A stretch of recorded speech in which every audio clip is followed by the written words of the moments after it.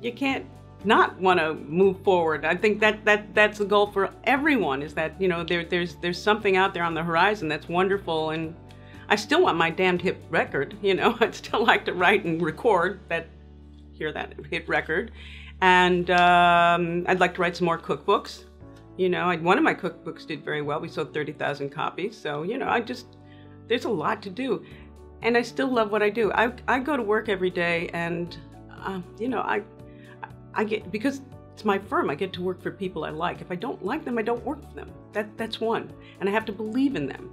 And I'm still working for. I, I work for some people I've worked with since the day I started the firm, and there are others who just thrill me with their their their creativity and their their their enthusiasm for what they do. So I have a great gig, and uh, so yeah, there's there's a lot to accomplish, you know, and and it's also fun. I mean, I have a lot of fun with what I do.